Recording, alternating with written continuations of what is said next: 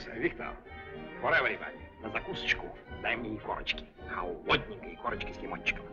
Затем дай мне борщ с пирожком. I'm quite sure His Highness would like very much to have борщ с пирожком. Затем дай мне бифстроганов со сметаночкой и на сладкой кисель с молочком.